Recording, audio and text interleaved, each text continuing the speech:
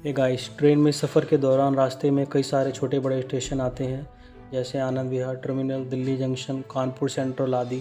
क्या आपने कभी इस बात पर गौर किया है कि आखिरी स्टेशन के नाम के पीछे जंक्शन टर्मिनल और सेंट्रल क्यों लिखा होता है? अगर नहीं पता तो मैं आपको बताता हूँ।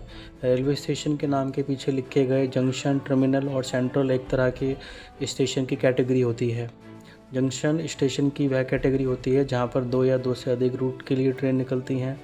टर्मिनल आपको बता दें कि जिन स्टेशनों के आगे कोई रेलवे लाइन नहीं होती है, उसे टर्मिनल कहा जाता है। सेंट्रल उन स्टेशनों के नाम के पीछे लिखा जाता है जो शहर की गतिविधियों का केंद्र होते हैं। ये स्टेशन शहर के सबसे पुराने स्टेशन होते हैं और सबसे महत्वपूर्ण भी।